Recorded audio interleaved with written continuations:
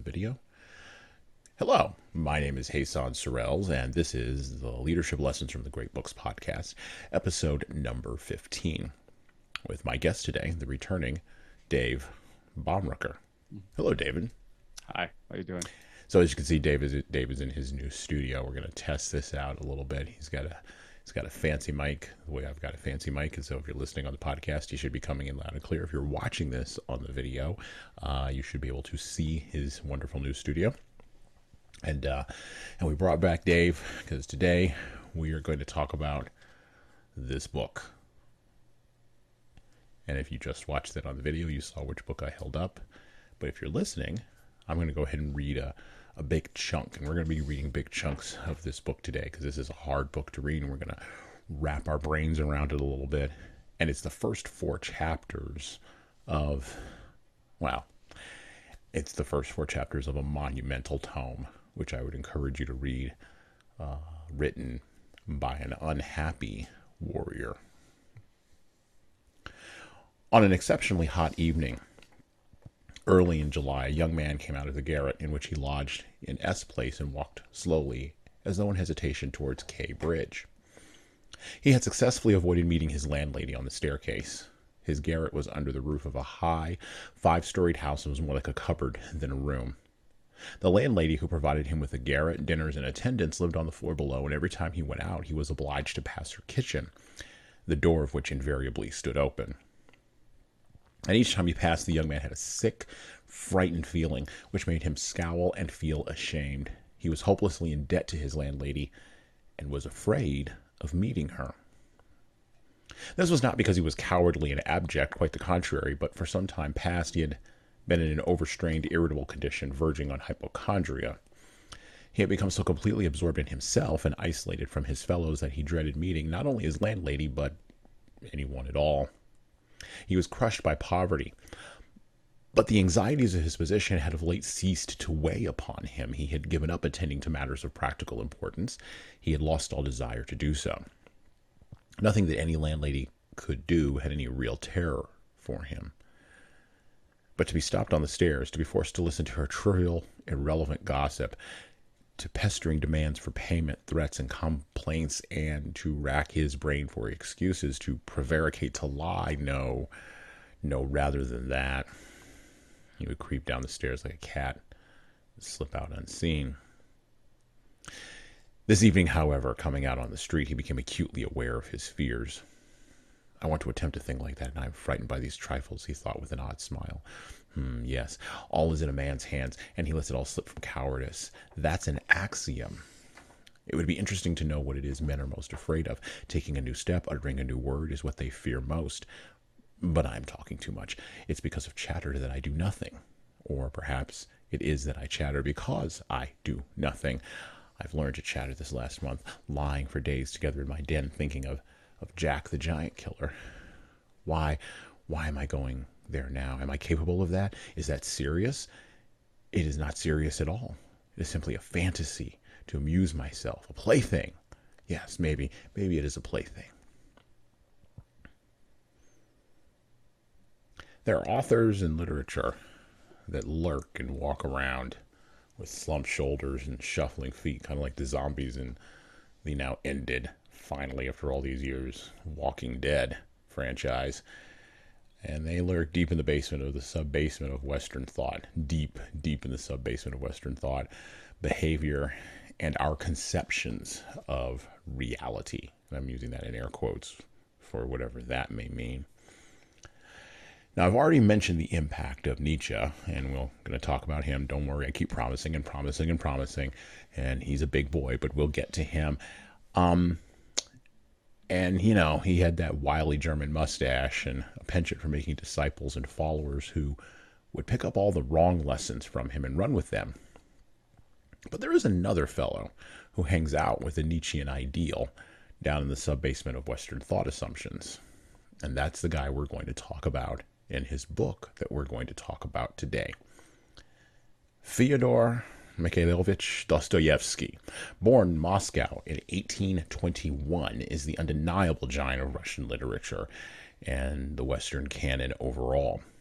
His writing is relentlessly dour, angry, pessimistic, and invariably cynical about the state of human nature, probably due to him being influenced by Augustine, who we covered in City of God, a podcast episode earlier, which you may want to go back and listen to, Kant, who we have not covered yet, but we will, Hegel, and Balzac. And being a journalist and seeing the world as it was, as well as a military engineer due to his father's influence. So we'll talk about the influence of his father a little bit later. He influenced literally every Russian writer who followed him, from Chekhov, who we covered on the podcast recently, to Solzhenitsyn, who we will be covering on a podcast in a future episode. We'll be talking about the Gulag Archipelago and One Day in the Life of Ivan Denisovich. Get ready for that.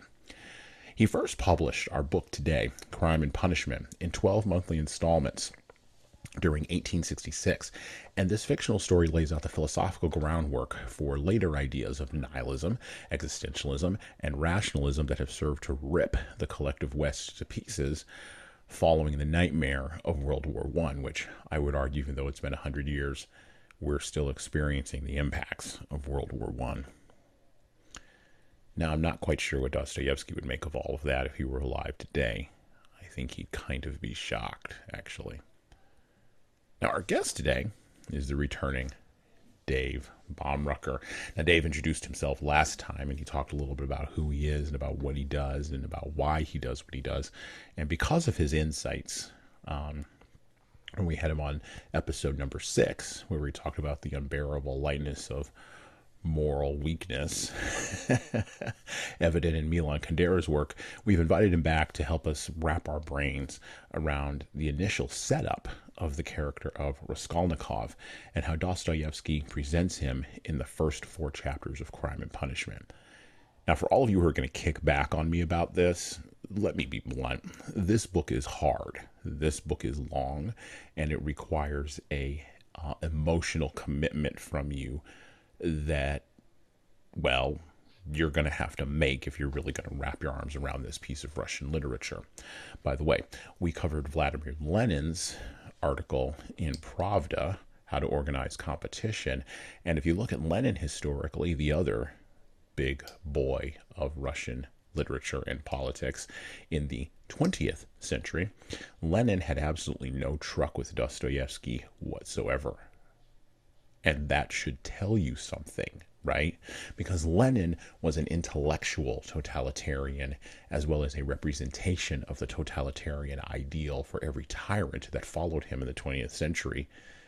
And tyrants need nihilism, existentialism, and secular moral rationalism to make some of the things that they want to work actually work.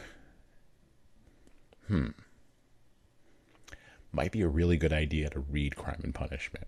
Or maybe you can start with The Idiot or Notes from the Underground or any of his other works, although I would not recommend going directly to the Brothers Karamazov. if you think Crime and Punishment is tough, go tackle the three brothers over there. Welcome, Dave. Good to see you again, man. Any thoughts on Dostoevsky for our folks as I take a sip of my coffee during this fine moment that we have here? Any thoughts initially on Dostoevsky? Um, I know that you had taken a look at Crime and Punishment. Now, the version that I've got is the DigiReads edition from 2017. We'll be reading from that today. Um, but any edition of Crime and Punishment is, particularly if it's translated from the original Russian, is going to be excellent. But any thoughts on this book to open us up? Yeah, uh, I think that uh, in general, I think Dostoevsky is really kind of almost like a mirror. He's he's reflecting back what he sees, what he experiences. I think most importantly, what he's feeling, because I think the book and all the ca- all the characters and how he sets up the characters are these embodiments. They're like the they're meta real almost because each person takes on a character that exists in society or a role that exists in society, and this book specifically, hmm, I think if you can kind of pull, read between the lines and, and actually identify the themes that are in this book, you start to really realize like he is, I think, both interested and curious, but also almost like sad and crushed by how he's viewing society. And then you get again we get introduced to the main character and the main character is this interesting embodiment of like what is moral what is just and how do i rationalize what is moral and what is just? And it's those rationalizations that carry raskolnikov through to not only um, his final act or his act of moral judgment which i want to talk a little bit about that because there's a concept of justice and mercy that Dostoevsky introduces early, um, but it also carries him through to his subsequent imprisonment in Siberia. Also very interesting, uh, considering that you know we're going we're in a line this month from Lenin, and this arc of podcasts, we're in a line from from Lenin organizing bugs and, and and capitalists um, and I use the term organizing very loosely, all the way to, you know, um, what does one day in the life look like for someone who is part of that class that has been identified as being, um, well, immoral, right, or unjust because of success or because of ambition or because of economic prowess, right? And that's that historical determinism from Hegel, which of course comes through in Marx, which now we wind up with in, in Crime and Punishment a little bit. Uh, so there's a lot of different themes that he sets up initially. And again, I wonder what Dostoevsky would think about all of that. I wonder what he would have thought about the long, the long drawn out 20th century and how his ideas got played out. I, I, I, I think it's a great question because I think that, I think in some ways, as if we look at our society as a whole, I think we've done some immense positive things, but at the same time, I think that there's still some speed bumps. We cannot really, we, we haven't been able to navigate some things as, as a society as large. And I think they, the relationship with God, and I think the, regardless of what, regardless of what the person, any individual's relationship is, or with the idea of God, I think that that be, is still today just as prevalent and just as profound as it was, you know, in the 1860s in Russia. And I it'd be very very fascinating to I guess to get that lens to understand like to see what he sees because I think when we go back and read this I think it there are most people that dive into this and want to articulate like the different dimensions of this book specifically are going to be they're going to be presented with some very very hard truths that we haven't really moved the needle much. We we haven't for everything that we've done accomplished in the 20th century um it, we we find ourselves coming back around again. And I, and I think that Dostoevsky, as an Orthodox Christian, we talked a little bit about this before we started recording, but I think Dostoevsky, as an Orthodox Christian, would um, not be surprised by that, because there's a certain idea that exists.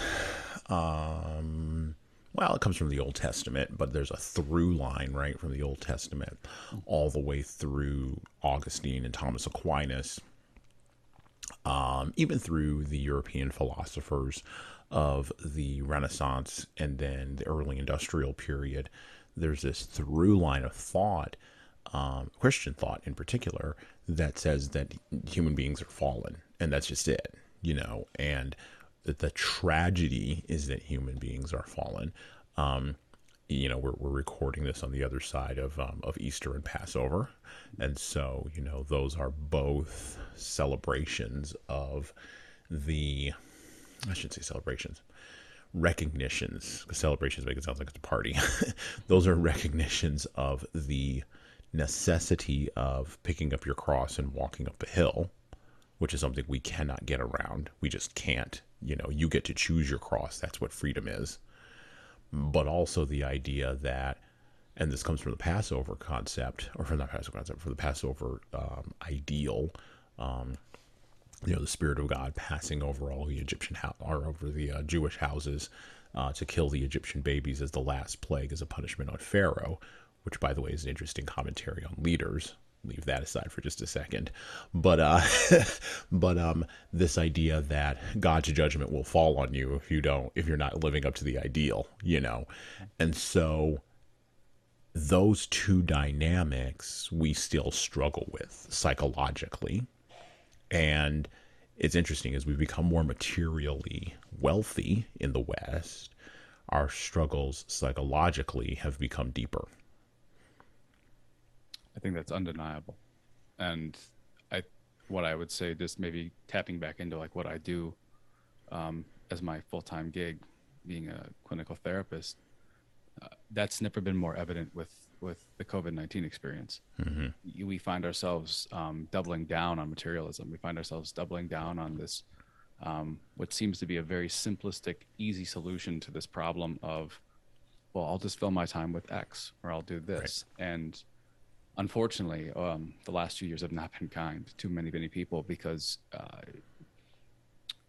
if we are left with only materialism, I think that that puts a massive spotlight on our our inequities and our and our insecurities, and boy, um, I guess not to get too long winded with it. I, I think that in in sense, when you were saying that we the freedom is the, the, the ability for us to choose our cross I, I, think mm-hmm. that's a fundamental necessity that we all have to reflect on that that there's a, there's this undeniable presence of suffering in life and that is not something to weep over but rather almost like a call to action right and we have to really just understand that um, everything is in balance and if we choose to try to side skirt that or like to um, maybe think that we're above that it only compounds and it becomes this monumental challenge that I think un- unfortunately breaks a lot of people. Almost broke Raskolnikov mm-hmm. in Crime and Punishment. Getting back to the book, the Digi Reads edition from 2017, Crime and Punishment. He was so badly dressed that uh, even a man accustomed to shabbiness would have been ashamed to be seen in the street in such rags. In that quarter of the town, however, scarcely any shortcoming in dress would have created surprise. Owing to the proximity of the Haymarket, the number of establishments of bad character, the preponderance of the trading and the working class population, crowded in these streets and alleys in the heart of Petersburg, types so various were to be seen in the streets that no figure, however queer, would have caused surprise. Now, in this context, just as I pause here for just a second, just to kind of set it up for folks, uh, Raskolnikov's walking around. He's thinking.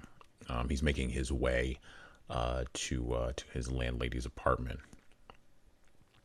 But there was such an accumulated bitterness and contempt in the young man's heart that, in spite of all the fastidiousness of youth, he minded his rags the least of all in the street. It was a different matter when he met with acquaintances or with former fellow students, whom indeed he disliked meeting at any time. And yet, when a drunken man who, for some unknown reason, was being taken somewhere in a huge wagon, dragged by a heavy dray horse, suddenly shouted at him as he drove past, Hey there, German hatter! Bawling at the top of his voice and pointing at him, the young man stopped suddenly and clutched tremulously at his hat. It was a tall round hat from Zimmerman's, but completely worn out, rusty with age, all torn and bespattered, brimless and bent on one side in an almost unseemly fashion. Not shame, however, but quite another feeling akin to terror had overtaken him. I knew it, he muttered in confusion. I thought so. That's the worst of all. Why a stupid nothing like this, the most trivial detail, might spoil the whole plan. Yes, my hat is too noticeable. It looks absurd, and that makes it noticeable. With my rags, I ought to wear a cap, any sort of old pancake, not this grotesque thing. Nobody wears such a hat. It would be noticed a mile off. It would be remembered. What matters is that people would remember it, and it would give them a clue. For this business, one should be as little conspicuous as possible. Trifles, trifles are what matter. Why, it's just such trifles that always ruin everything. He had not far to go. He knew indeed how many steps it was from the gate of his lodging house, exactly 730. He had counted them once when he had been lost in dreams. At the time, he had put no faith in those dreams and was only tantalizing himself by their hideous but daring recklessness. Now, a month later, he had begun to look at them differently, and in spite of the monologues in which he jeered at his own impotence and indecision, he had involuntarily come to regard this hideous quote unquote dream as an exploit to be attempted, although he still did not realize this himself. He was positively going now for a quote unquote rehearsal of his project, and at every step, his excitement grew more and more violent.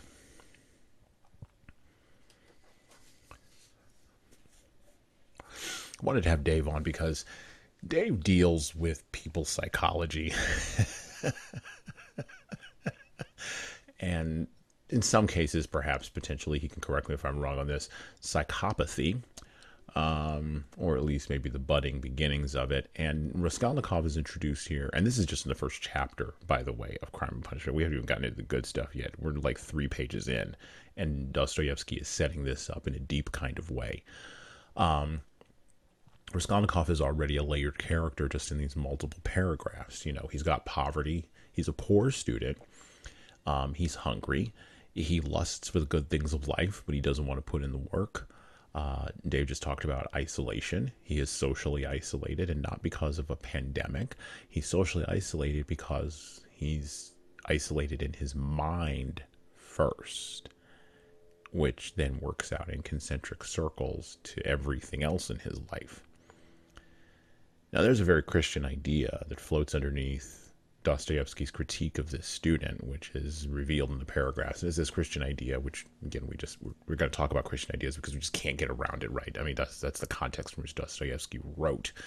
He was a devout Orthodox Christian. He believed in it. Now, Christianity in a socialist sense, because he filtered his his religion through his politics, but it was religion and the idea he had in here that he's critiquing the student on the first part of crime and punishment is this idea that if you don't work you don't eat.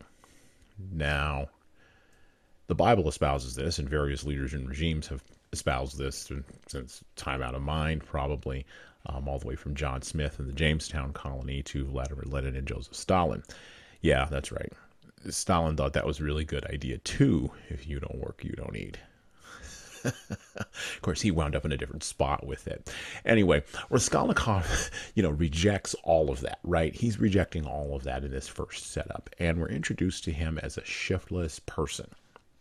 And Dostoevsky brilliantly ties this shiftlessness to moral corruption, and that the and, and, and asserts, I think, that the cert with a he asserts that immoral behavior grows from a seed of mere shiftlessness into moral corruption without Raskolnikov really thinking too hard about it. Dave, is Dostoevsky onto something here? Or is he making a mountain out of a molehill? I mean, that's been a critique. Um, Nabokov, the Russian writer, didn't really like him. He was like, whatever, like that you can't get there from here. Um, Chekhov didn't, well, I wouldn't say Chekhov did dislike Dostoevsky, but his critique of Dostoevsky would probably be, you're making a mountain out of a molehill, kind of that similar thing. Um, maybe not for everybody, but for some people, how does that how does that seed grow in people in your experience and what you've seen here and does it match with what dostoevsky is setting up with raskolnikov in these very first few pages of crime and punishment it's a great question. Um, whenever we become, whenever we start to feel dejected, especially from our in group, and that would be society at the first level, uh, then our community within that society, and then our neighborhood, and then our family, you know, these different layers of things. Um, I think he's tapping into this idea, um, and we see it clinically that when we when we isolate, and also when we are feeling entitled. I think that there's this interesting thing that happens with us consciously that we start to rationalize why people need to give up other things or why we should be deserving of things. And it does create a very interesting spiral um, in our minds. And I don't think that he's making a mountain out of molehills. I think that he's really what he's doing is he's he's identifying the fact that um, all of society in a weird way um, has been predicated on this idea of like a transcendent morality. And if we do not i think that the his his critics or i think even like the like the sam harrises of the world they try to make the argument that um that in a weird way like they try to say that you could just take away this concept of transcendent morality and everything will just remain the same. That this um in a weird sense like i get the feeling that dostoevsky is tapping into the idea that it's a fool's errand to think that m- mankind by itself will reach this rational understanding with itself and will will find itself in this like this moral playground of sorts where everyone is respected and everyone is treated equally and fair.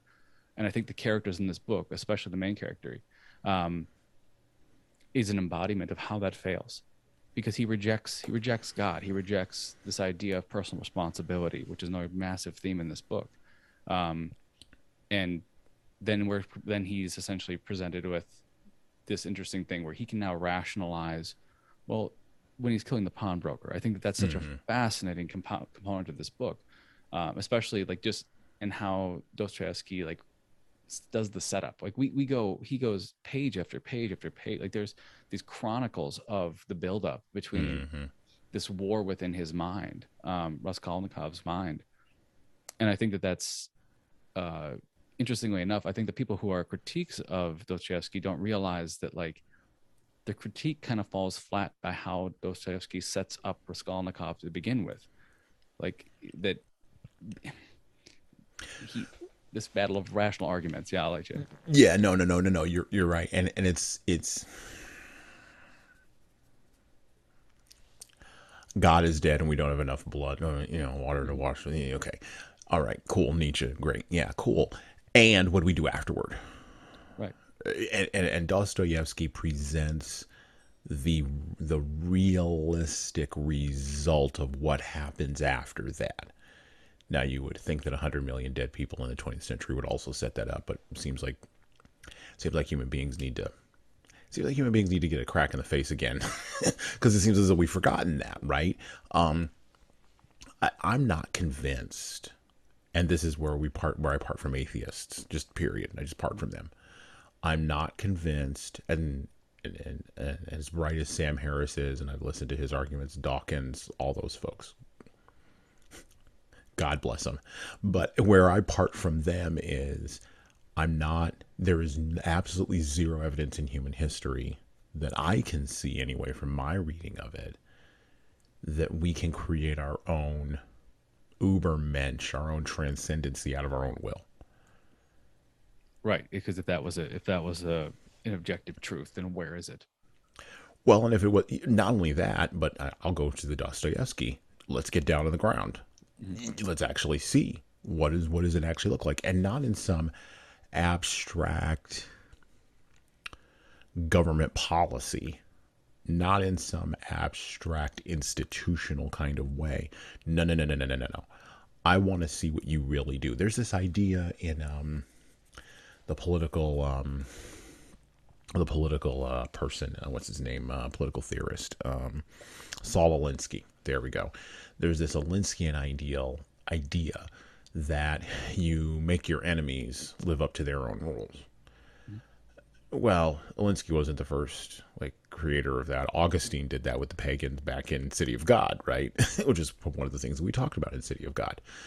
Um, and Lenin was Lenin as a totalitarian ideal was more than happy to live up to his own ideals. He was okay with that. Um, but many many atheists want to talk a good game about there not being a transcendent morality, and yet I'm only really convinced that two atheists really died. David Hume would be one and then um, what's his name? Uh, Christopher Hitchens would be the second. I'm only really convinced that those two actually died, taking that through to their logical to the to the absolute end, right? Yeah. I'm not convinced that the that the other 99.9 percent of them, even Sam Harris, I'm not convinced. I'm just not convinced because they the, the behavior that they walk out, the way that they actually act, the gap between their words and their writing and their podcasts and their actions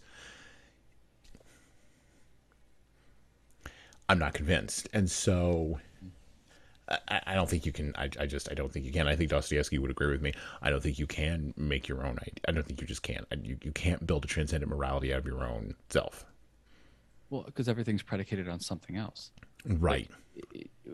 I, I think my biggest, uh, what I'm confronted with all the time is that people will do this. Will make this argument as well. People yeah. will make the argument that um, that I can just go forth and do as I please and as I want, and then they find themselves feeling uh, in this weird like they feel they feel without, mm-hmm. and I mm-hmm. think everything and I think that that idea that you're saying that we can't just create our own thing. Uh, when when do we when do we like modern society is built on the backs of giants that came before us, right? We always Mhm. mention this idea, and, and I think that every idea is just integrated into this this this contextual understanding of mankind. Mhm. And so God has been around for a long time. This the idea of God and the idea that society has predicated on itself in God's eyes or God's judgment. I, I think it's I think it's very cavalier and I think it's very bold to make the argument that man can just do this um, without without some higher without some higher authority, without some higher piece to it. I don't know if that's making sense, but it, I- I think Yeah, no. peop- people there's a reason why there's a reason why parents have to watch their children Mhm. right like let's just maybe this is maybe the example i propose to people in in therapy sometimes when i'm confronted with similar ideas is especially if they have children why is it important that you don't leave your five year old alone in the house why is it important because that you don't leave a 10 year old or a 15 year old or tw- even even a Mhm. 16 year old alone next to your money or this it's because they need some authority. They need some teaching. They need guidance. They need something to essentially to reflect off of and to understand themselves better and understand what they are and how how they're going to get along in society. And i think that one of the evident one of the pieces of evidence that i see is why we need to have this transcendent morality or why the denial of it leads to chaos is look what's happening in all of our major cities. Mhm. when when when we start to promote this idea that um, it's okay, just do as you please, right? I don't want to get political with it, but I, I, I think that it's it's a very observable thing we're all living through. Mhm. That the past handful of years have really shown us that without something that binds us together, without something that unifies us, and that we can, I guess that we can aspire to reach. It's like an ideal, right? This idea that we are we are searching for this um, this transcendent ideal like we will become this thing and in the eyes of this thing that's viewing us regardless of how you define god Mhm. um, though that actually keeps us in bounds. It keeps us in bounds not only with ourselves but keeps us in bounds with our spirituality and it keeps us in bounds with our neighbors. Because without that well I, I would make i would say this is that there's nothing irrational about a psychopath going after things he wants un, with unscrupulously and getting what he wants. He's seeking self-interest. Mhm. And in that argument, right, we're essentially what I, I feel that they're making, if I'm understanding this correctly, that the Sam Harris is saying, well, that's okay, that's rational. Or these other people are saying that that's that's that's a rational way to go about things. And then they go, well, I guess maybe they, I guess what I'm trying to say is maybe they deny that that's rational. And then from my perspective, going, but you're seeking. It, seems like it's counter to itself. Well, and it's it's not having the courage to live out your argument to its fullest end. Yeah. Let let me hold your feet to the fire then. Then it's completely rational for me to hmm, it's completely rational for me to take away your right to speak freely. Yes. Completely totally rational. Yes. There's absolutely nothing rational in you being made to shut up. Or nothing irrational, I'm sorry, in you being made to shut up. Makes perfect sense. And this is where we get into, well, we get into several different ideas. That's a rabbit hole right there. But you get into several different ideas there. But the biggest one, I think, is um, has been exemplified in the Bible at the end of Judges, where uh, there was no, the last line in Judges is there was no king in Israel, and every man did what was right in his own eyes. Uh, this is the Greek concept of, um, you know, man is the measure of all things, you know, and so uh, that final appeal to authority has to be to a higher thing than just the dude who's parallel to me with feet of clay or woman either way it doesn't matter. The person who has feet of clay who's who's next to me um because the king is always fallible the the, the system is always corrupt um that's kind of the point um, again, if you have a Dostoevskian worldview, you know, th- of course the system is corrupt. Like we're fallen human beings. So what is outside of the system, objectively outside of the system, that we can appeal to, that will not be part of the system, and that will be a that will be a higher ideal. We were talking about before we started recording about the intellectual ringing out of all of this that kind of led to, I love that phraseology that you used, uh, that kind of led to World War One. Um, and I want to revisit that idea in just a moment. But for the moment, back to the book. Again, from Crime and Punishment, Digi Reads edition 2017.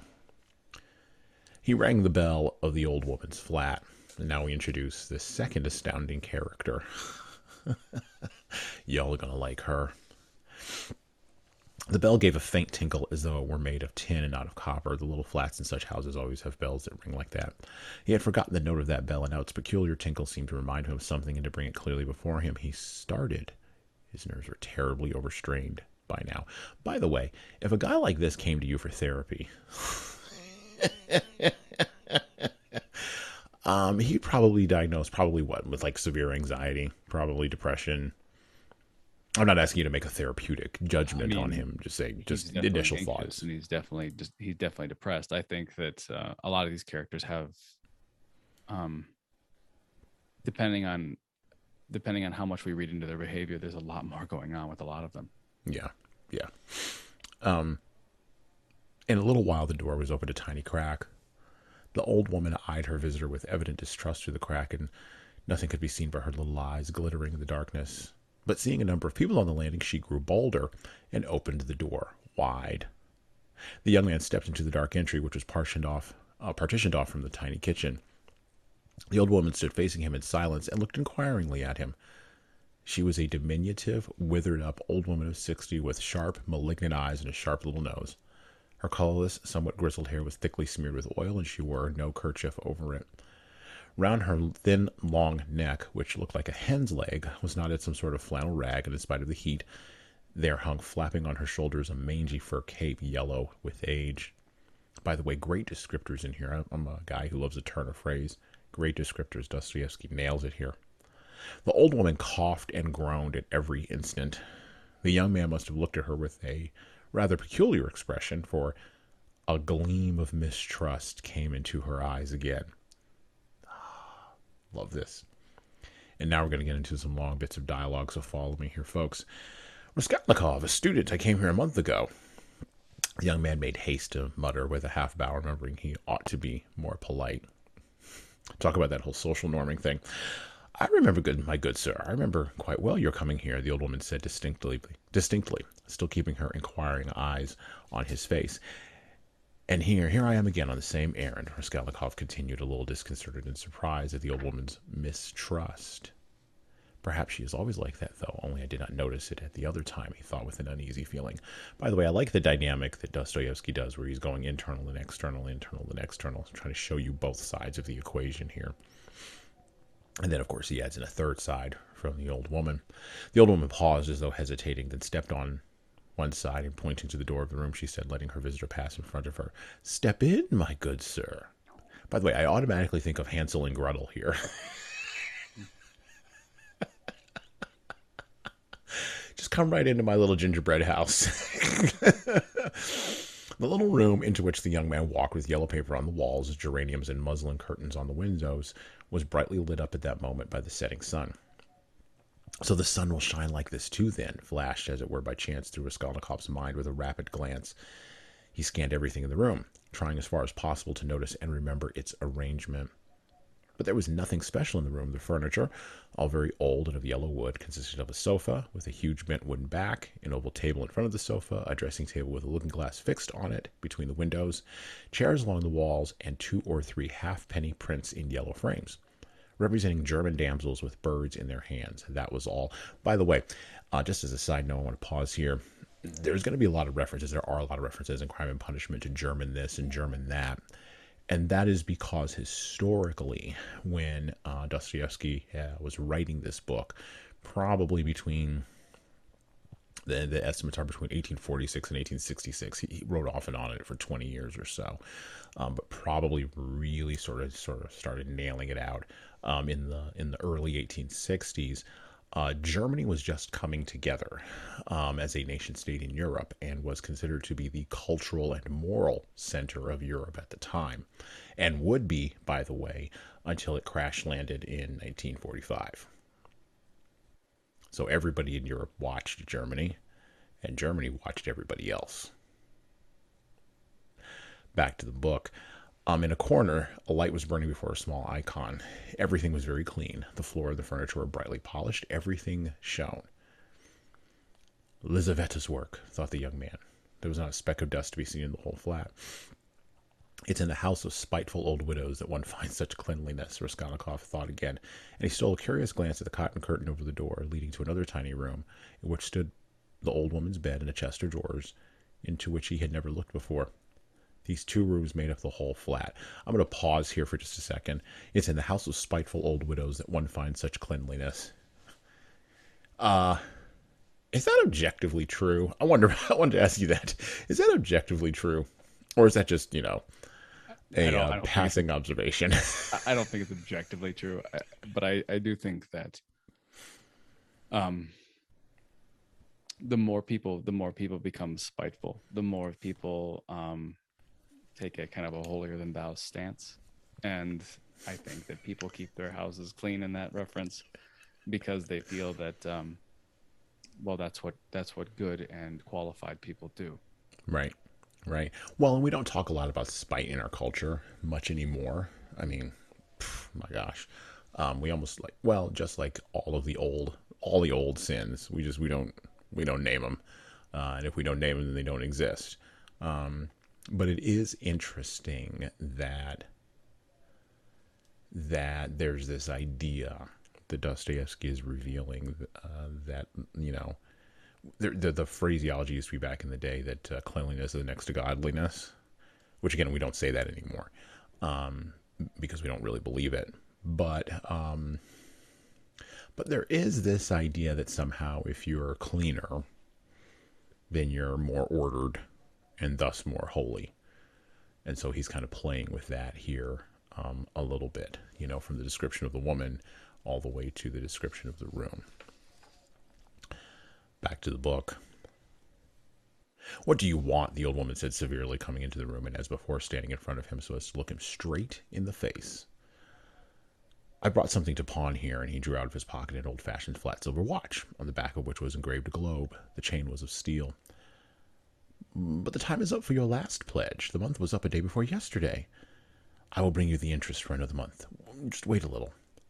But that's for me to do as I please, my good sir, to wait or sell your pledge at once. How much will you give me for the watch, Aliana Ivanova? You come with such trifles, my good sir. It's scarcely worth anything. I gave you two roubles last time for your ring, and one could buy it quite new at a jeweler's for a rouble and a half. Give me four roubles for it. I shall redeem it. It was my father's. I shall be getting some money soon. A rouble and a half, an interest in advance if you like. A rouble and a half, cried the young man. Please yourself. And the old woman handed him back the watch. The young man took it and was so angry that he was on the point of going away, but checked himself at once, remembering that there was nowhere else he could go, and that he had had another object also in coming. Hand it over, he said roughly. The old woman fumbled in her pocket for her keys and disappeared beneath, behind the curtain into the other room. A young man left standing alone in the middle of the room listened inquisitively, thinking. He could hear the unlocking the chest of drawers. By the way, I love that. Again, I love the soundscape that Dostoevsky is playing with here.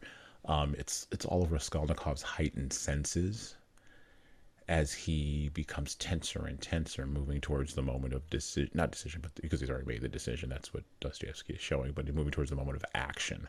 Um, and even in, in warfare, you see this, right? Things become clearer um, as all of the extraneous things become stripped away. Veterans will often talk about this, you know, the, the clarity of of hearing bullets, right, or the clarity of um, the clarity of seeing the field of battle. Um, long after the decision is made, and now we are moving towards action, and all of the extraneous garbage just fades back mm-hmm. into the background. And this is what Dostoevsky is showing here with Raskolnikov's actions and his perceptions. And again, we're still in the first chapter of Crime and Punishment. It must be in the top drawer, he reflected, so she carries the keys in a pocket on the right. All in one bunch on a steel ring, and there's one key there three times as big as all the others with deep notches. That can't be the key of the chest for drawers. And there must be some other chest or strong box. That's worth knowing. Strong boxes always have keys like that. But how degrading it all is. The old woman came back. Here, sir, as we say, 10 kopecks the ruble a month. So I must take 15 kopecks from a ruble and a half the month in advance. But for the two rubles I lent you before, you owe me now 20 kopecks on the same reckoning in advance. That makes 35 kopecks altogether. So I must give you a ruble and 15 kopecks for the watch. Here it is. Now, just like she's got OCD with the house, she abs and again, that's not a clinical diagnosis. I want to be. I am not a clinician. I'm just going off of what I'm reading here. Um, just like she's very particular, maybe I should change the clinical diagnosis, clinical terms. Just like she's very particular with the house, she's also very exact with the money. Um, again, revealing something about herself, layering something into her psychology that, that uh, Dostoevsky wants us to pay attention to here. Otherwise, he wouldn't be telling us this. Back to the book for just a moment. What? Only a ruble and 15 kopecks now? That's Raskolnikov. Just so. The young man did not dispute and took the money. He looked at the old woman and was in no hurry to get away, as though there was still something he wanted to say or do, but he did not himself know quite what. I may be bringing you something else in a day or two, Aliana Ivanova, Ivanova, a valuable thing, silver, a cigarette box, as soon as I get it back from a friend. He broke off in confusion. Well, we will talk about it then, sir. Goodbye. Are you always home alone? Your sister is not here with you? He asked her as casually as possible as he went out on the passage. What business is she of yours, my good sir? Oh, nothing in particular. I simply asked. You were too quick. Good day, Alyona Ivanovna. Raskolnikov went out in complete confusion. I love that last bit. All that dialogue, all of the intensity that happens in that scene, the setup, he has no clue what just happened.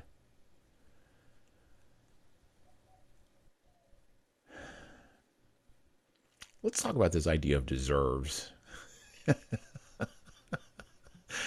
Dostoevsky sets up Ivanovna as a terrible person but he doesn't give, at least not initially, not in the first four chapters. Now, subsequent in the book, he does give her a little bit. He fleshes her out a little bit as a character, but in the first four chapters of the setup, he merely sets her up as a foil, as a as a villain, right? Um, and but he does it quite cleverly because he's setting her up both as a victim and a villain at the exact same time. And while Raskolnikov may be morally weak and ill-tempered, um, which I think we would probably agree about that, um, Ivanovna is set up as being truly cruel and deserving justice.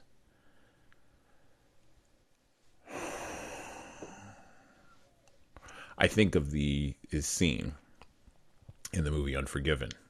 I, I love I love Clint Eastwood westerns, and I love that one the most of all because it was it was his final statement on the western, and uh, you know the scene at the end where Gene Hackman is laying on the floor after Clint Eastwood has basically cleaned out the bar. And Clint walks over to him with a double barreled shotgun. And he puts the double barreled shotgun uh, on uh, uh, in Gene Hackman's mouth. And Gene Hackman goes, I don't deserve this. I was building a house. And Gene Hackman is corrupt. He's cruel. He's probably what the town needs to keep it in line, but he is he's he he is by a modern moral standard evil. And Clint Eastwood gives the great line, which ties into this: deserves got nothing to do with it, and he blows the back of his head out, and then he walks out of town. By the way, yelling at everybody that like if you if you come to me, I'm going to kill all of you too and that they bury, better bury Morgan Freeman. If they don't, he's going to come back. and take care of them. Deserves got nothing to do with it. I think Dostoevsky would agree. Did Ivanova deserve to get killed? And I'm not spoiler alert, she gets killed. Like, come on, the book's been around a while. You can go pick. It's been 140 years. You can go pick it up.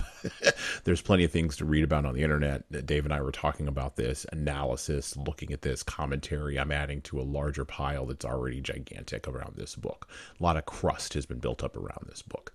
Um, we're exploring it for leaders, but there's plenty of information. So anyway, she gets killed. Did she deserve to get killed? Subjective. I mean, I mean that's my first response. I mean, I think maybe to maybe answer that question, I, I will, I'll give you this: Who creates who? Right? Does the pawnbroker create Raskolnikov, or does the society that um, the pawnbroker exists in force her to be that person? Because there is no, there's no morality. There is no higher order. There is no anything, so she has to be unscrupulous, uh, essentially, because she knows that everyone's a liar, and she knows that everyone is not worth what they say they're worth. Right. So, does she deserve to die? Depends whose eyes are casting that. Dr. Manhattan had a great line in chapter four of The Watchmen, a book graphic novel we covered um, on a previous podcast Great book, great freaking graphic novel. And Alan Moore basically puts the line in um, in Doctor Manhattan's mouth, the omnipotent, the omnipotent God man who could put himself back together. Uh, he goes to Mars, and he ruminates on how he became who he is, basically. And he asks a great question: Who makes the world, or is it always been made? Is it a watch without a watchmaker? Uh, doubling down. And Alan Moore, of course, wrote this in the 1980s. So doubling down on this concept of, you know, rationality and existential crises. And I think Dostoevsky does a good job here in setting up um, the pawnbroker, Ivanovna, and then, of course, there's her sister, which we're not going to get into that. That's the opposite side of the coin. Again, that's where she rounds out a little bit more. But setting her up as both villain and victim. Raskolnikov is confused. Why is he confused at the end of that interaction?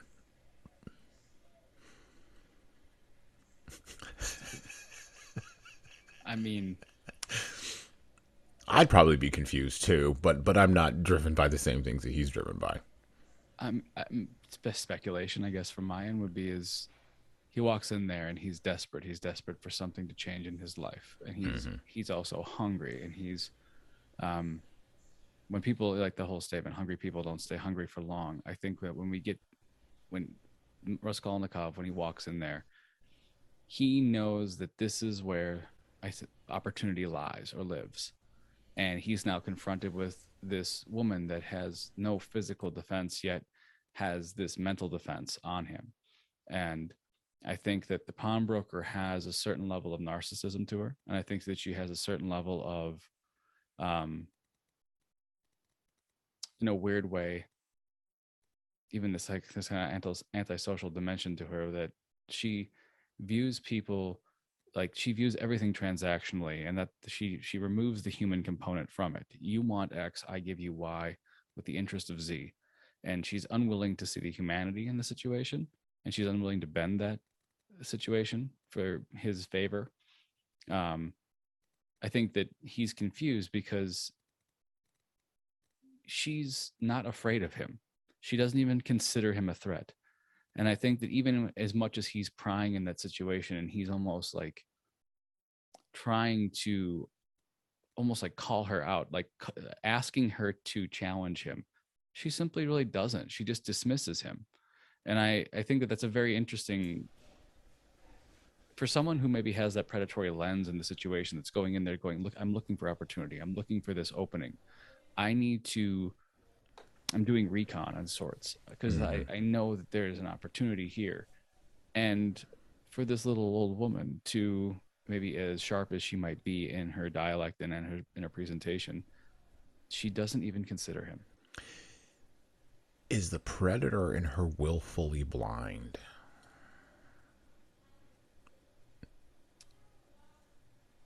Are you asking is the pawnbrokers Yeah, is the thing inside of her willful has her narcissism made her willfully blind as you were talking i was thinking there's this there's this idea um floats around everywhere. Uh, joseph campbell explored it in the power of myth more recently you know jordan peterson maps of meaning. There's a long line of people you know carl jung all this. Okay. There's this idea that um whatever it is that is in your psychological house, right, can basically block you from seeing a threat coming if you're not paying attention and sharp and on it, right? And and what you just said there about the pawnbroker, she dismisses him. She doesn't even look at him as a threat. But she's a snake in a garden of other snakes. And so is she just willfully blind? Is she just missing the mark because of her own narcissism? It's a great question. I, I, think for me to really answer that question truthfully, I, I it comes down to we have to ask another question: is what is the motivation behind beating like her? Was it her half sister? Like so, I think when we ask the if we can, if you explore the idea of what is the motivation what is the personal motivation what is maybe the structural necessity for her to beat her half sister because if that's just backlash if that's just her venting then potentially but if she's doing it because she needs to keep that person in line then i shift away from her being willfully blind and rather being um go shifting back into this idea of this antisocial thing there's a justification like people are not people people are cogs in a machine that I can turn to get to the get the outcomes that I want. Because mm-hmm. oftentimes, I mean, the biggest the biggest thing that I find with the, with this character is that it seems it seems to me that she's very aware of what's going on in society and very aware of the role that she plays and very mm-hmm. aware of the leverage that she has and more importantly i think that she views herself as being above society and i don't mm. know if i would qualify her as being willfully blind because if i apply that lens to her i think that she i think that she justifies her actions as a necessity to maintain the status quo and i think that that's a little bit different. Got it. Something else clicked over and something else just clicked over in my head there. So it's the difference between um there's a difference between, and we've been exploring this again on the podcast this month, there's a difference for leaders between a totalitarian and a tyrant. You can have a, to- a totalizing idea in your head as a leader and not be tyrannical about it. You could be benevolent. Will you be dictatorial? That's a different layer down. Potentially, you probably will be. Um, but you can have a totalizing idea and not be tyrannical. More likely than not, you will be tyrannical, but you can ha- you can't separate those two.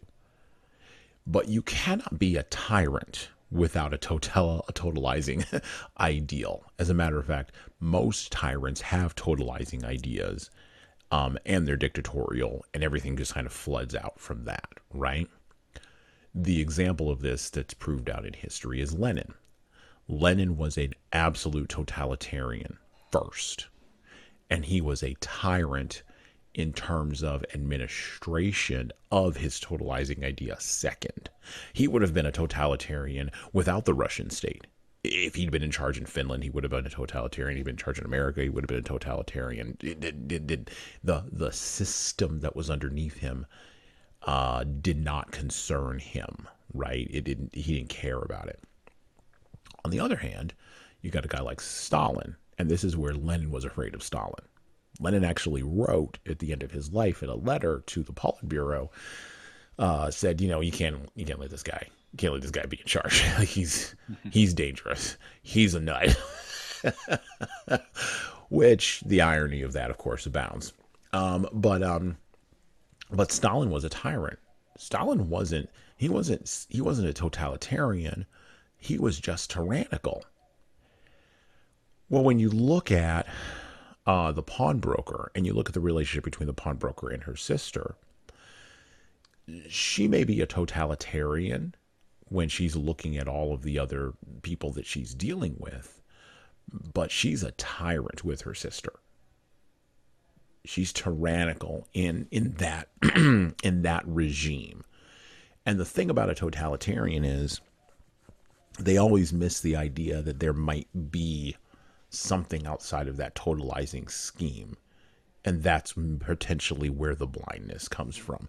Because the, the egyptians have this idea of horus right? The, the one-eyed you know the one-eyed god right and horus loses his eye because he's blind and his son has to go down into the underworld. I think if I'm remembering the myth correctly the son has to go down into the underworld and, and you know pull up the uh, you know go battle basically death and get his father's eye back and restore restore the eye right?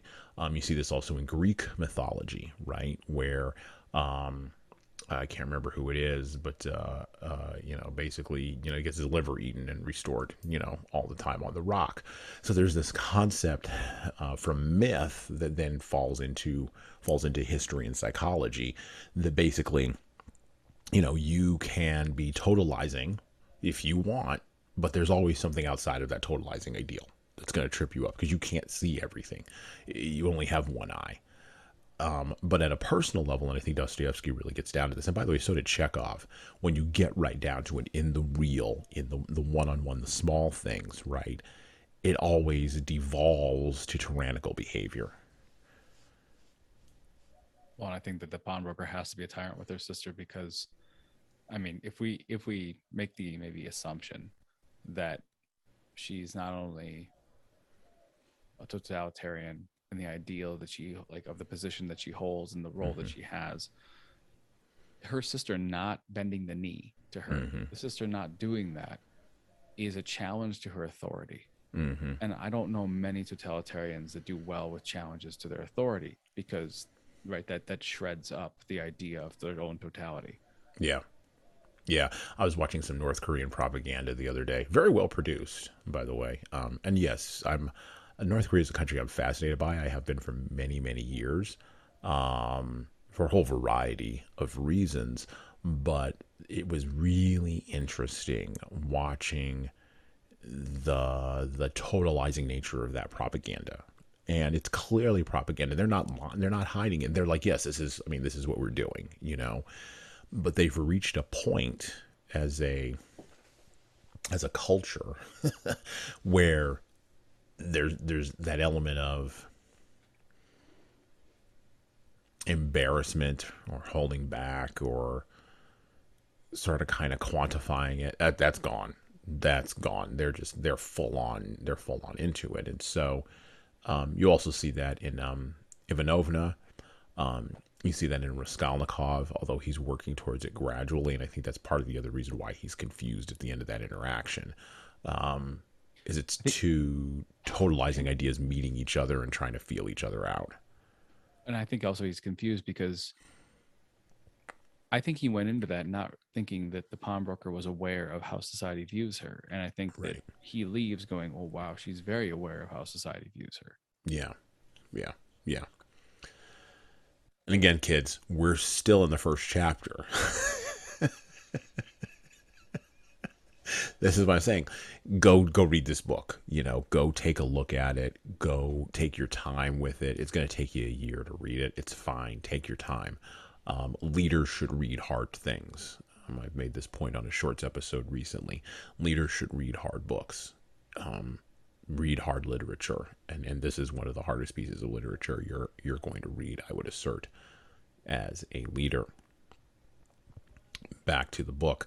So we're going to skip over a bunch of things. Um, Raskolnikov's wandering through the streets of St. Petersburg. Um, he's left the pawnbroker shop. He goes to a tavern. The description of the interior of the tavern is amazing. I'm going to skip over all of that. It's a huge chunk of information. And he runs into a, a clerk, basically, an out of work, um, besotted, uh, these days we would say alcoholic clerk. And the clerk well, the clerk um, allows Dostoevsky, the clerk character, allows Dostoevsky to explore some dynamics in uh, Russian society and Russian culture between men and women, um, between government officials and students. Um, and it allows him to bring in this idea, uh, again, filtering into Russian society at the time he was writing this from Marx around class consciousness. And, and again, Marx was not the first, Marx and Hegel, or Hegel, Marx and Engels were not the first people to kind of come up with this idea, but they were the first ones to bring everything together and codify it into one totalizing idea um, around uh, the the orbit or in the orbit. Nah, I'll frame it this way: one totalizing idea around the sun of a communal, or dare I say, communist state. Back to crime and punishment. So he's in the tavern and he's sitting down and he's getting ready to have a drink. He looked repeatedly at the clerk, partly, no doubt, because the latter was staring persistently at him, obviously anxious to enter into conversation. At the other persons in the room, including the tavern keeper, the clerk looked as though he were used to their company and weary of it, showing a shade of condescending contempt for them as persons of station and culture inferior to his own, uh, with whom it would be useless for him to converse. He was a man over fifty, bald and grizzled, of medium height and stoutly built. His face, bloated from continual drinking, was of a yellow, even greenish tinge, with swollen eyelids, of which keen reddish eyes gleamed like little chinks.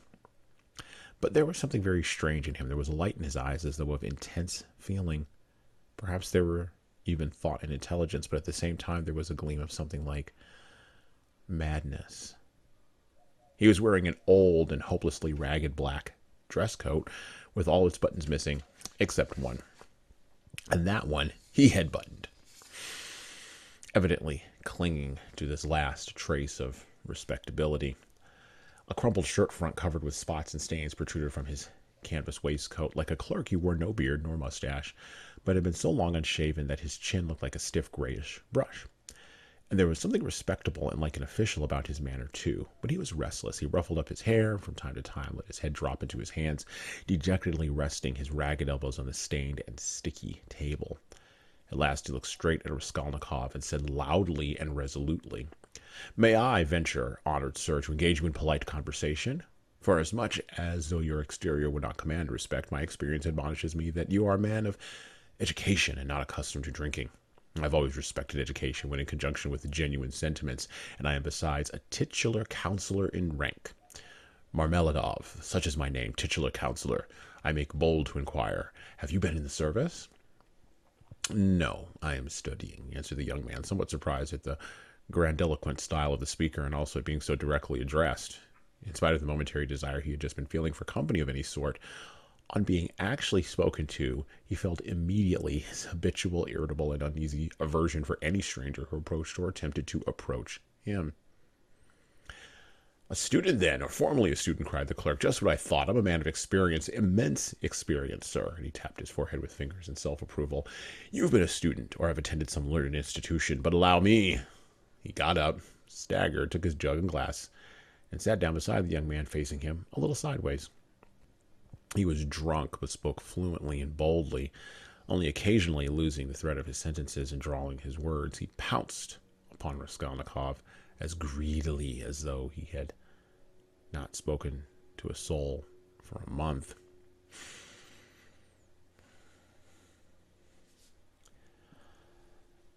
A warning to readers in America, and this is probably going to do well in Russia, although I hear they're having trouble with the internet these days. But um, a warning to my American readers um, we struggle with class in America. Um, we've done a really awesome job of trying to flatten all of that.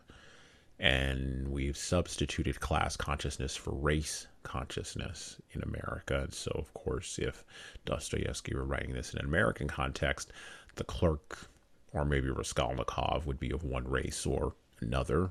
Pick your particular degree of melanin here. And he wasn't but but but because he was writing it in Russia, because it was coming out of a Western European and Eastern European context, he wasn't confused by class. As a matter of fact, that was the thing that was driving Raskolnikov. Um, as a matter of fact, in works like the Brothers Karamazov, he would hold up the Marxist myth of a class struggle to severe critique. Um, and of course, in The Idiot, he would do that as well a little bit earlier. And I don't think Dostoevsky was confused or impressed with class. As a matter of fact, he um, he went to Siberia. He had his own class struggles.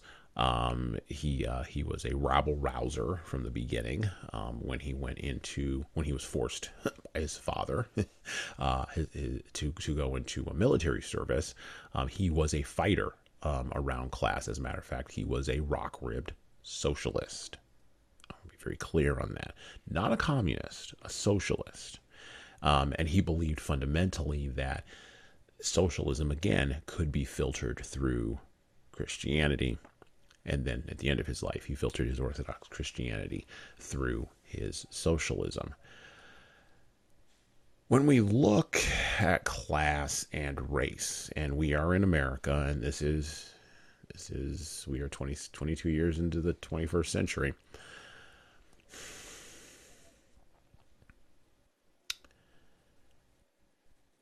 What do we do with race in America? Yeah, we're finally going to go. We're finally to hit on that because, you know, I'm a guy with melanin in my skin. You're a guy with a little less melanin in your skin. but we've been kind of dancing around this a little bit um, for the last couple of podcasts. And eventually, by the way, we will read on the podcast W.E.B. Du Bois' Soul of Black Folk. We're also going to be reading Booker T. Washington's Up from Slavery um, because you got to get both sides of that argument. And W.E.B. Du Bois turned out to be a committed communist who went and lived in France um, after abandoning America.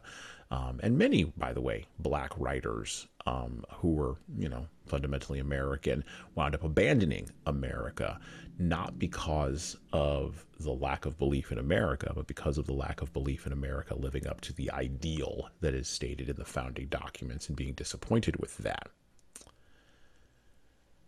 But this is Russia, and this is class, and we live in America, and we have race. How do we reconcile those two together in our heads as American readers of this very complicated material, David? Profound question. Um, you know, I don't know. I mean, so we have made the attempt, I guess, I guess on paper, we have made the attempt to push forward this idea of meritocracy uh, as like the equalizer of all things. I don't know if that's necessarily working. Um, meaning that I, I think that we all need to promote ourselves based off of the merit we bring to society, and but that therein lies an interesting. But there's a there's like there's an interesting shadow here that that is when we talk about race. Every race has a different experience in America, and I think that I don't know. That's a. I mean, it's a very interesting question. Like, what do we do about race in America? I think that it has to be whatever we choose to do needs to be um, an agreement that we all carry. I think that maybe that the, the best way I want to answer this question is that mm-hmm. somehow, some way, we have to find common ground. We either have to agree to disagree and move forward with that position, or we have to come together and somehow, some way, unify over the things that connect us, not the things that are different from us. Well, and it's interesting. Crime and Punishment was published in 12 monthly installments in 1866 in Russia. And the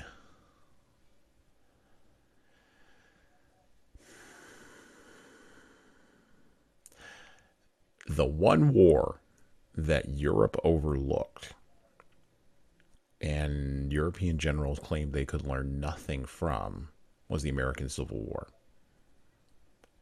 particularly European generals in World War One. And yet, the American Civil War is the first example of 20th century warfare and murder at scale, I would assert. Um, I take out the summer nonsense of 1840 in in uh, France, I dismissed the first Russo and the second Russo-Japanese War. I even dismissed the Spanish-American War because those those were one could argue, and many have, that those were media creations that were more propaganda than anything else. Okay. But World War One is where it kicked off. I mean, the Somme. I mean, you had fifty thousand people die at the Somme. Like it, it, it was just it was just carnal house. Well, how many people died at Gettysburg? How many people died at Shiloh? How many people died at Vicksburg? Um, That's a war that Europeans didn't pay attention to.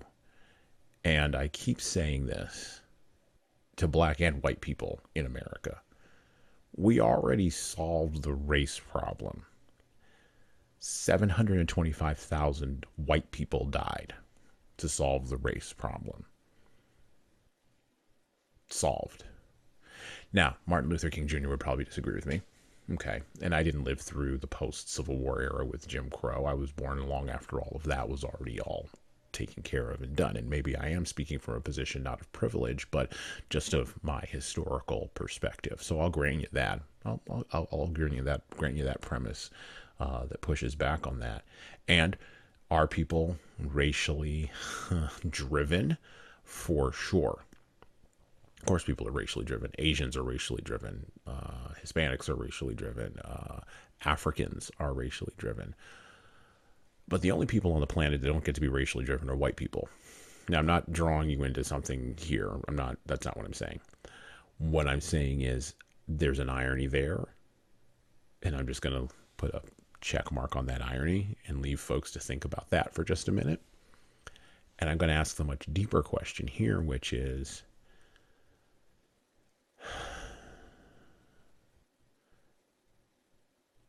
you can intellectualize all of this all day. But eventually, if you do the intellectual wringing out, like we were talking about a little bit earlier, you're going to wind up at a reckoning. And usually the reckoning is warfare. And usually it's killing on a massive scale. This happened in Europe with World War One on the back end of Dostoevsky's life. Is there any way to avoid that kind of reckoning? I, I think so, but I think it it re- it requires people to really keep their egos in check, because I think that war is a condition or maybe a consequence of viewing yourself as different, and I think that that is a that becomes a very very interesting like theme throughout at least my examination of history every culture every culture that views themselves as being a different entity a different ideal a different philosophy a different edict essentially or ethic that that they uphold and they're confronting with a different culture oppose it when when we find ways to essentially just explore that and be curious and be interested and be inviting to this idea that there's more than one one path i think that that's the pathway forward for us. And i think that we've seen that in several cultures I think that we've seen that in several countries do that really, really well. Uh, and going back to what you said about you know the Civil War in America, will we you know we solved the problem of race? I think we solved the problem of race on paper. I, I think that's what I would say is what the Civil War. It's a bloody piece of paper. Well, what I mean by that is that the Civil War allowed us to essentially meet each other on common ground that if we are going to if we're going to be free then let's be free. Mm-hmm. we're not going to be free let's not be free right? Mm-hmm. or if there's going to be if there's going to be leveraging in society then let's just call it for what it is. And i think the civil war made a point on a more like philosophical level that we need to like we need to meet each other on level level ground. Mm-hmm. and i think that it was a great start. And i think that the civil rights movement became an, an addition to that start. I think it became like chapter two Mm-hmm. And if we fast forward to, you know, the summer, uh, I guess the spring and summer of 2020 with the George Floyd incident, I, I think that that was our first that was our first maybe boiling over point in a long time. I mean, there have been so many uh, tragedies. I, I, guess that's the only way to say it. Mm-hmm. And they're they're and it's so interwoven with everyday in society. People get murdered, people die. There's atrocities in downtown America everywhere. I think I think when we talk about can we how do we solve the problem of race in America? I think it goes this goes threads back into the maybe the underpinning of some of these things in this book. Mm-hmm. That there needs to be a personal responsibility and an accountability on everyone's level. And I think that if we are going to dismiss behavior based off of the perceived racial prejudice that someone might be applying to somebody, I think that that is a very, very dark spiral. Meaning that I think that if we can rationalize someone's behavior because, oh, well, but that's what we had to do, or that's what they had to do, or that's just us being us, right? trying to use maybe ambiguous language just so it applies to everyone here. Um, you said when you were talking about people being racially driven, absolutely. I mean, we, we I think that there's a, a cultural necessity on everyone's and everyone's part to be racially driven to support their culture and to support them their own identities. I think that where we get into where we really show our our ignorance and maybe our adolescence as a country is that we still think that let me back up for a second. I think that promoting the idea that systemic racism is an immovable line is a problem. And I think that if we're going to solve the problem of race, I think that we all have to start becoming hypercritical on the idea that good behavior is good behavior and bad behavior is bad behavior. And we go back to this idea of a transcendent morality. We only solve the problem with race if we apply a unified transcendent morality, right? I think that that to me is the only pathway forward. And I think that that's why in this country, at least well, relatively, uh, I think the fact that there is this, there has been this unified kind of good behavior in America, kind of, we use kind of air quotes around that. Uh, we've seen like decade by decade, things tend to trend upwards when we do that. And when we maybe have self-directed leaders or people who are pushing an, a, a weird ideology or their own version of totality, it it it stresses the system, and it stress and it starts to challenge this unifying thread that binds us all together, which is that transcendent morality. I I, I don't want to name movements by name, but I think that throughout uh, going going back even from the early 50s and 60s all the way to the present day, depending on what culture is doing what movement, um, all of these things challenge this transcendent morality, and as a result of that, we kind of echo around and we bounce around. Well, and, and, and now, now we can talk about class because Marx would assert that historical determinism says that there will be a war between classes regardless and, and by, by, the way he looked at class as the totalitizing the to, yeah the totalitizing ideal. It was above everything else. He thought all the rest of it was just nonsense. O- okay. The the subsequent thinkers to marx the feminists the racialists uh the techno technophiles um you're even seeing this in the climate change movement, the environmentalists um, take this idea of class and all they do is just switch words around. So it's not class that's the historically totalitizing ideal, it's the environment, or it's race, or it's gender, or it's sexual identity, or it's national origin, or it's ethnicity, or whatever is on the EEOC list of approved things that we right. have to hire people for. Okay fine. But the Black Lives Matter movement, and by the way, you can go look this up. Uh, the people in the Black Lives Matter movement who were in charge of the money, the money's gone. And I'll name the movement because you can go ahead and come for me. That's fine. Leave Dave alone you can come for me. I'm a big boy. you, you, come right on. I have to be a professional fence walker at times. So. Dave can be a professional fence walker. It's my podcast. Just aim at the right spot. Um, but they, the money's gone. They, they, they took the money and ran. Um, from from 2020 and 2021, no accounting, no records. Can't, Vice News couldn't even find these people yeah. So for all of this racial consciousness raising, in essence, we have a movement in the last couple of years that turned out to be, and I will be again, I'll be blunt, turned out to be a shakedown. Just let's call it what it is. If it were any other race doing it, we would call it a shakedown. Okay. So class still means something. So let's ask the deeper question that Marx would probably ask here How do we solve the class problem? again, we come back to transcendent morality. I think that Marx is right when he makes the the proclamation essentially that class class struggles lead to warfare.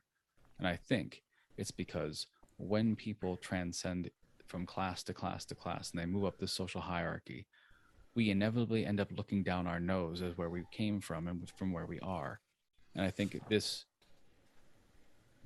this weird adjustment, this weird change in uh, in how we view others, right? It's a very narcissistic thing, and I think that that well, I mean, at least in my lens, like one of the one of the fundamental struggles uh, that that causes narcissism to be a disorder is that it's one of the one of the strategies that they apply is to jump rungs. If there is a social ladder that moves like such, mm-hmm. narcissist likes to jump rungs, and mm-hmm. what they do is they when they by jumping rungs, then they look down their nose and burn the bridges with those people below them, and inevitably they end up burning a bridge they shouldn't have burned, and it becomes the Humpty Dumpty story. They fall mm-hmm. down and they shatter, and they can't put themselves back together again.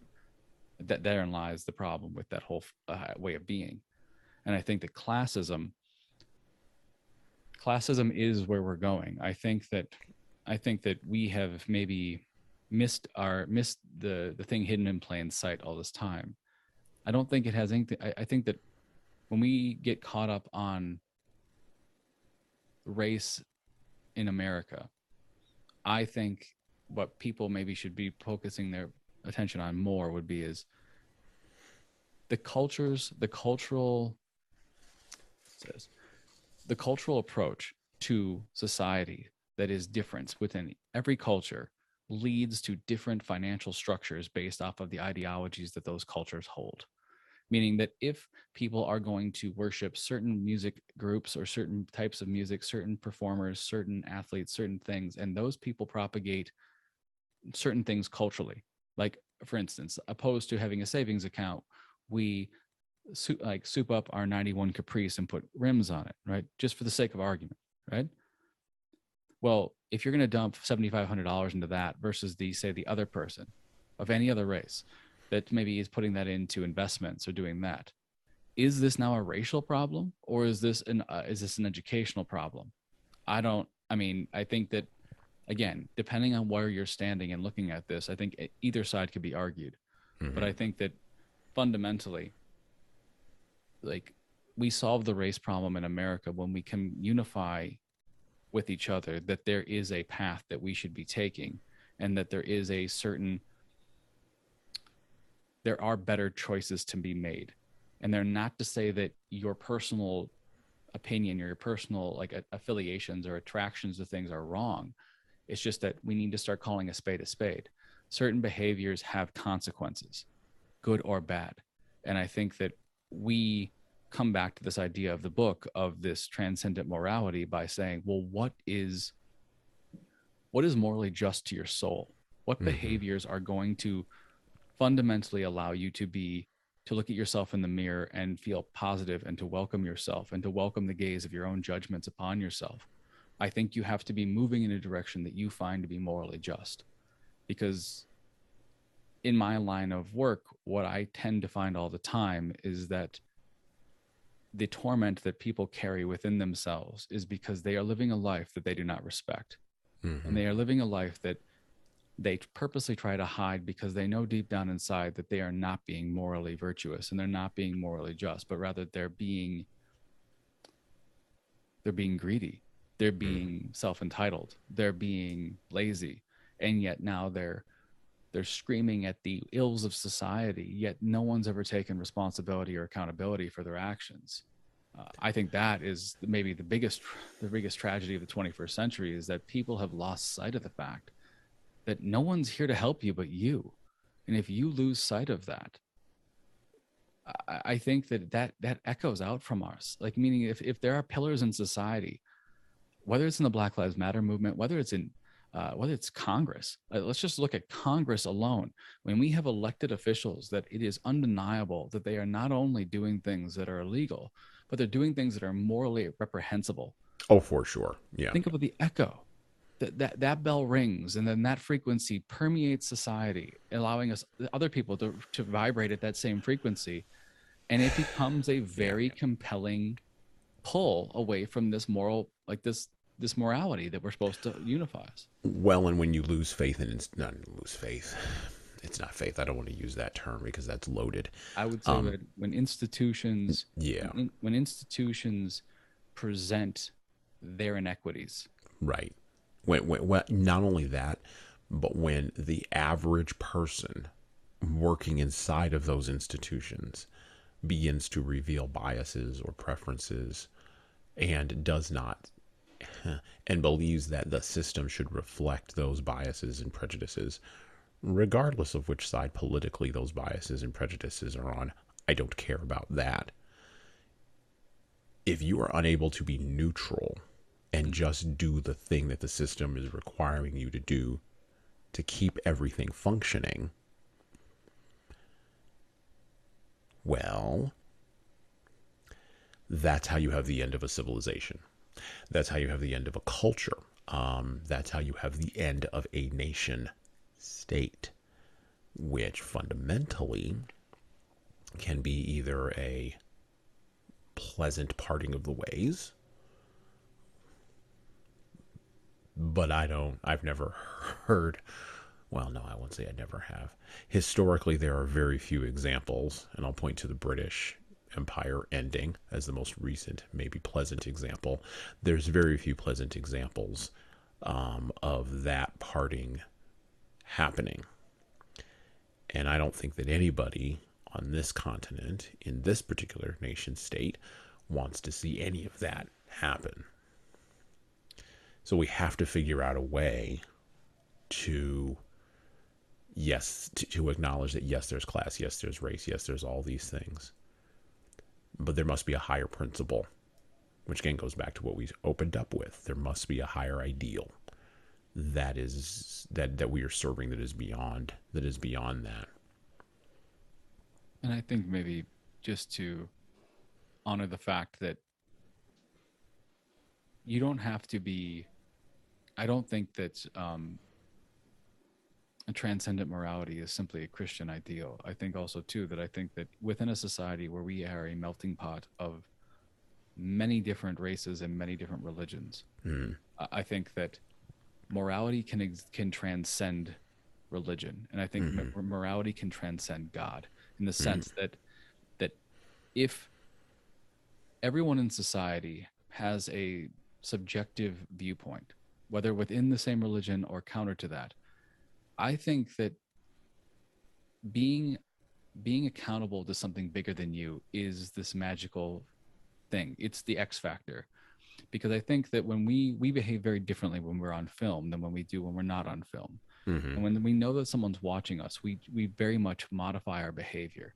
And I think that the role of God in society is that modifier.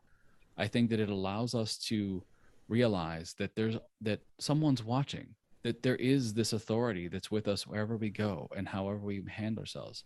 I don't I wouldn't say that the morality of Buddhists is better or worse than the morality of Christians. But what I would say is that if both parties understand that there is a transcendent existence, a transcendent place, or a transcendent idea that we need to be accountable for our behavior and our and our our judgment. Maybe the, uh, what I- like maybe what I'm asking for or talking about is this idea of judgment.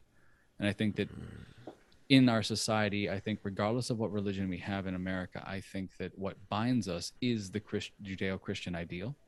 And I think that the Judeo-Christian ideal allows for every other religion to hold space in this with one condition.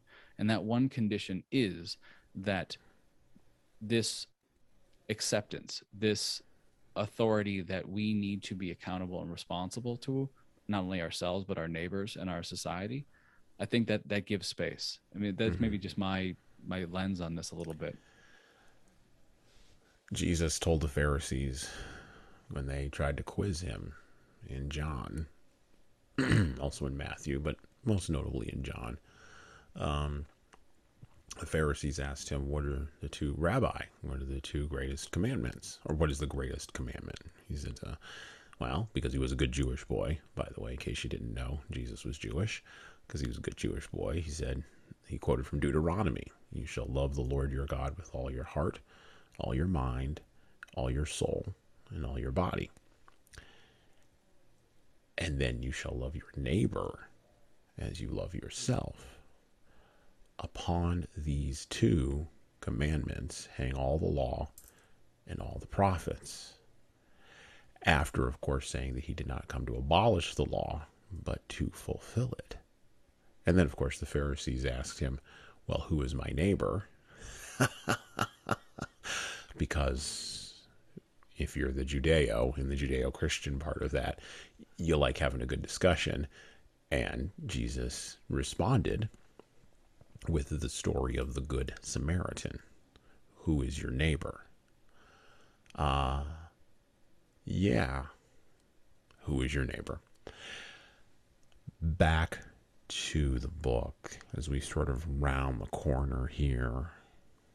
We kind of want to talk a little bit about leader, what leaders should get from Dostoevsky, because we've, we've explored a ton of different philosophical, theological, social, cultural, uh, psychological, and emotional ideas here in just the first four chapters of Dostoevsky's Crime and Punishment. Again, not a book for the faint of heart, so go get it. I would recommend the audiobook version if you're not a big reader. Um, the dramatic reading is actually kind of amazing um, of it, um, and you can read it in chunks. Um, it kind of helps with the Russian terms and the Russian and the Russian uh, the Russian uh, names that are in here because um, those could be a little bit of a, a little bit of a hard read in um, in English. But I want to kind of move forward a little bit from where we were at. So he meets the clerk at the tavern, takes the clerk, takes the clerk back to his house. Um, you may want to read that because there's a whole domestic piece there that is absolutely amazing. Um, it never happened to Norm on Cheers like that. It's one of the first things I thought. That never happened at the end of Cheers. uh, so, um, might have happened at Frasier's house, actually. That might have happened at Frasier's house, but it didn't, it didn't happen in Norm's house. And so, uh, go forth and uh, go forth and read that. Um, and then Raskolnikov returns to his flat and he has a letter from his mother. Now, this is where it is revealed that yes, though Raskolnikov is a student, he also has a family. Um, his mother has been writing him on a regular basis, um, updating him about things that are going on outside of St. Petersburg back in his home. And he, she writes in this letter about the courtship of Raskolnikov's sister um, by a man named um, named um, Pietro Petrovich. And Pietro Petrovich is, talk about class consciousness, a lawyer and is moving up in the world, basically. He's, uh, to, to, to David's term, um, he's not skipping steps. He's taking each step up the mountain, um, much to Raskolnikov's dismay. And the letter from his mother, which the text uh, uh, Dostoevsky writes here um, in amazingly vivid terms. And we're taking the back half of the letter here. We're going to visit this as we close um, and talk about this a little bit as we close. But you, you know, Dostoevsky lays this out um, for us in in real terms. And so, back to the, the book from Raskolnikov's mother's letter to him. Oh, by the way, his sister is Donya. So, Rodya, dear, he may be of great use, greatest use to you, meaning Pietro Petrovich, in every way indeed. And Donya and I have agreed that from this very day you could definitely enter upon your career and might consider that your future is marked out and assured for you. Oh, if only this comes to pass. This would be such a benefit that we can only look upon it as a providential blessing. Speaking of transcendent morality, Donya is dreaming of nothing else. We have even ventured already to drop a few words on the subject to Pietro Petrovich. He was cautious in his answer and said that, of course, as he could not get on without a secretary, it would be better to be paying a salary to a relation than to a stranger, if only the former were fitted for the duties, as though there could be any doubt of you being fitted. But then he expressed doubts uh, whether your studies at the university would leave you time for work at his office. The matter dropped for the time, but Donya is thinking of nothing else now. She has been in a sort of fever for the last few days and is already making irregular plans for your becoming in the end an associate and even a partner in Pietro Petrovich's business, which might well be, seeing that you are a student of law. By the way, this is the first time we find out what Raskolnikov actually went to school for.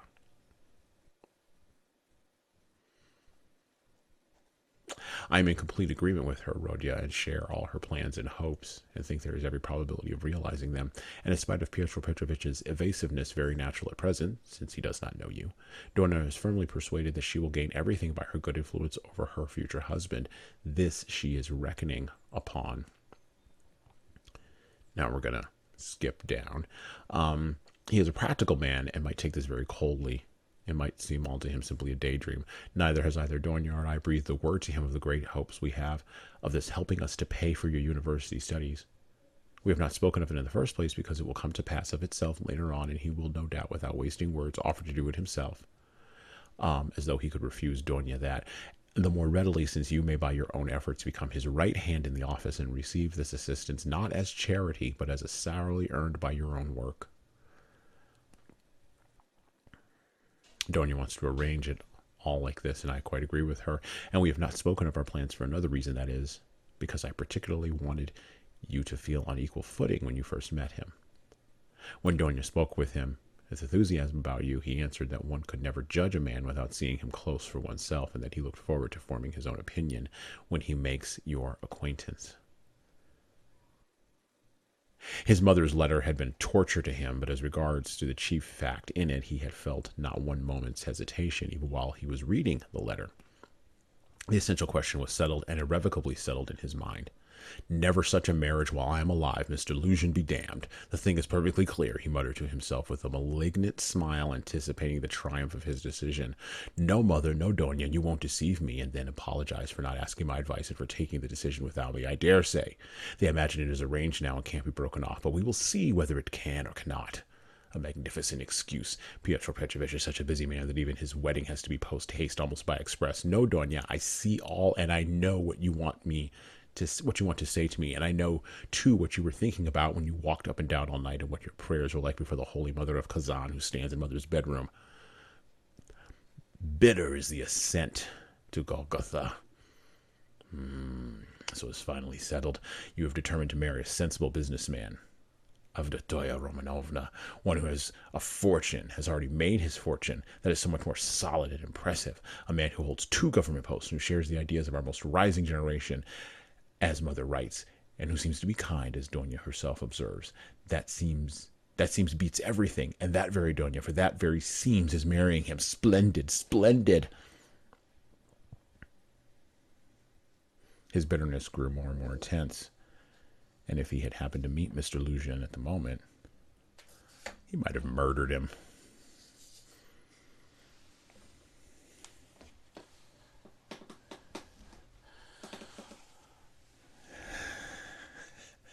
A bit overprotective. I shouldn't laugh. Uh, but I'm laughing because Dostoevsky nails all the bitterness, the resentment, the hatred that he had been hinting at. And this is in chapter four, by the way, when the letter comes. In the first three chapters, he, he's hinting, hinting, hinting, hinting, and finally the bomb goes off it's Anton Chekhov's gun, right? This idea that you don't show something without it actually being used. You don't introduce a character or an idea in a story without fully referencing it back to it and then fully completing it and closing it. We don't do that these days. We have Netflix streaming shows. We leave Chekhov's gun laying around all the time and never fire it. It drives you crazy. But but Dostoevsky goes right to it and he just he blows it up in that letter duty honor pride bitterness jealousy wrath all of these things right someone wants to help raskolnikov and raskolnikov wants to get in the way how do we act how do we behave when pride gets in the way because fundamentally it's pride. I mean, I think of another movie, Pulp Fiction. Uh, you know, when um, Bruce Willis is asked to throw the fight, and the black guy, I can't remember his name now, um, punches him in the face and says, you know, you're, you're going to want to think that you can get over me, right? Because it's the the guy who's uh, who's dealing him the uh, the money to solve his gambling problem, and uh, I'm going to curse here a minute. You're forgive me, mother, but I'm going to do it because this is the line. He said, "Don't you think? Don't you think that? That's pride fucking with you. Fuck pride. you know, basically, you know, to throw the to throw the uh, to throw the fight. Pride here is messing with Raskolnikov. How do you overcome pride? How do you overcome bitterness? How, as a leader, do you graciously accept help as we turn the corner here towards thinking about staying on the path? How do you accept help? How do you overcome pride? How do you prevent it from screwing with you? It's a great question. Uh, I think I think we must never forget that pride is associated with honor. Mm-hmm. And how does one attain honor? Well, they have to have a little bit of humility to understand that they can't possibly know it all. Mm-hmm. They can't possibly do it all. So when pride gets in our way, I think I think we have to remind ourselves that who you're only upset, right? Because you're in a position or maybe that you're seeing someone in a position that you want to be. And I think that when we get when pride gets in our way, I don't think it's really so much pride anymore. It's envy and it's jealousy. This idea that you're where I want to be. So don't don't patronize me. Don't don't don't give me this the scraps off your table.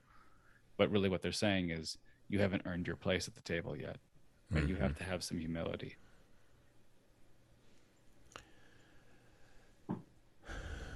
That's just the setup for Crime and Punishment by Fyodor Dostoevsky. That's just the first four chapters. I wasn't kidding.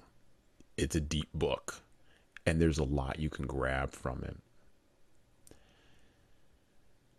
Leaders should read hard books, and leaders should engage with hard topics. Leaders should be thinking theologically, philosophically, um, as well as practically and rationally about what it actually means to be a leader and what leadership actually entails. It's interesting that David just mentioned humility.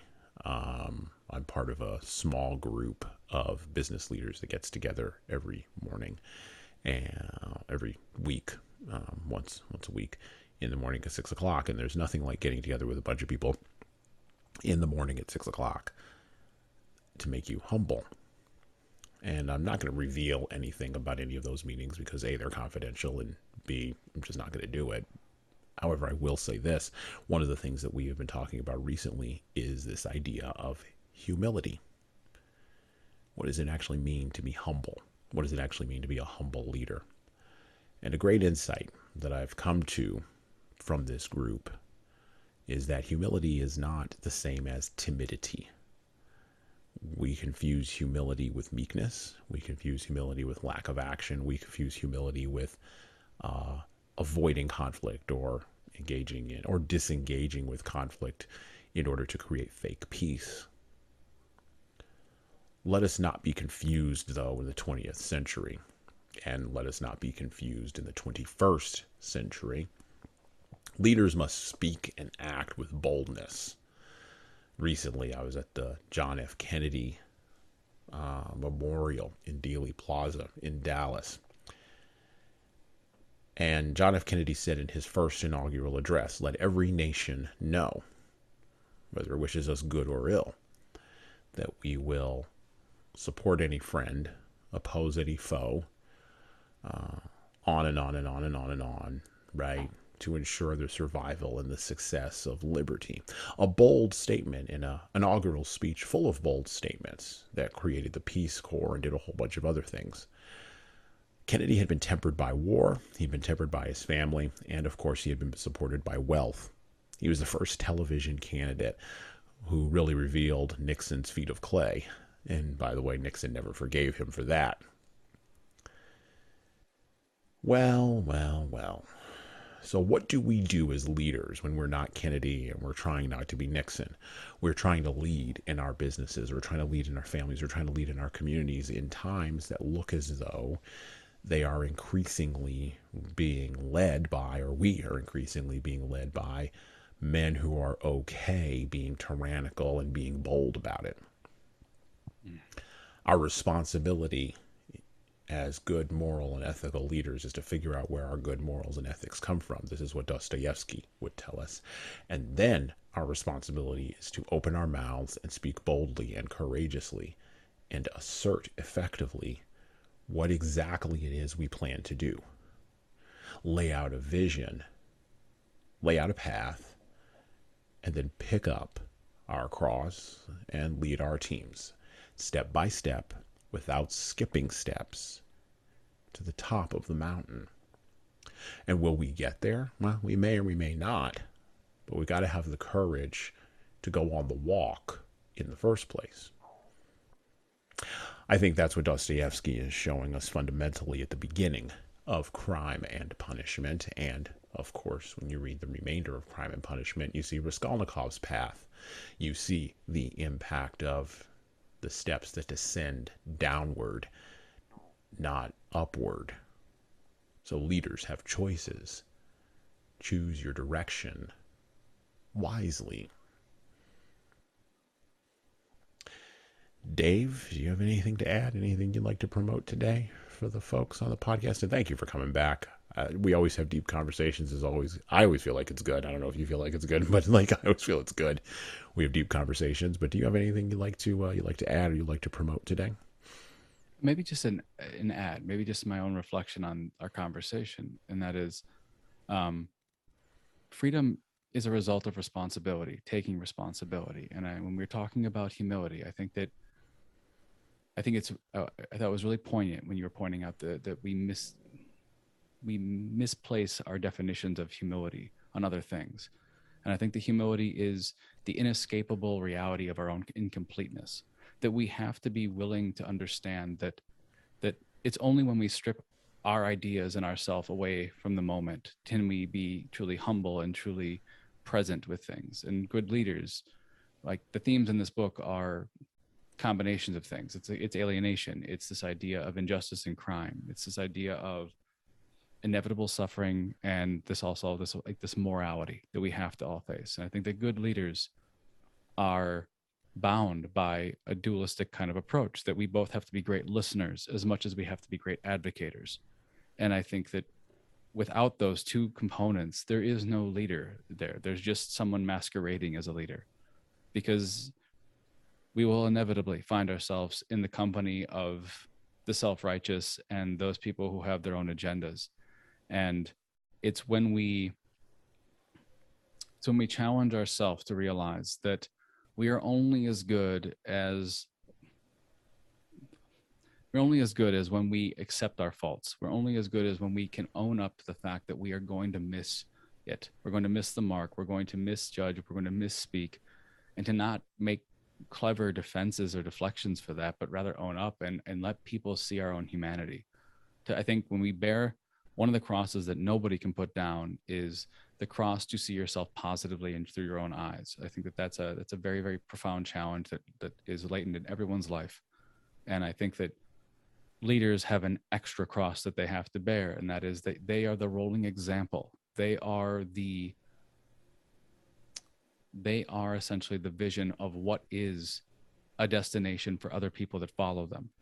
And when we talk about business leaders, it's how business leaders not only treat, uh, honor themselves, but it's how they treat the people that support them and how the people that they lead. And so I, I think that this, how this book applies to leaders is like you said before, it's like an MC Escher painting. There's staircases everywhere, and we have to be very very aware of the fact that it's we're never on we're not always going to take the right staircase but we have to have the humility we have to be willing to pause and step back for a second and to go you know what? I misjudged that. I mis I, I misread that and own those things. Because i think that when we own our mistakes when we own our maybe misdirections in life i think that that's how we truly gain power and we ascend to a different level within ourselves especially within companies and within the communities we exist ourselves in. Um, because we've seen how that doesn't play out with our society. We see how the endless deflection and the endless excuses of not only people in political power but people in in very powerful businesses well, what happens? It, it sets a cascading effect. And once you lose credibility, it's impossible to get it back. And I think that leaders need to fundamentally, I think that good leaders know this. And I think that good leaders understand that in the war for positive change and growth, that it's okay to lose some of those battles and to own up that I, I misjudged those moments. And I think that when we show the people that we that follow us that part of who we are, I think that we strengthen the alliance. And I think we strengthen our team. And I think that we really foster growth and development of new leaders that are coming behind us. I don't really have anything to add to that. If you want to stay on the path, we have some products and services that'll help you do that.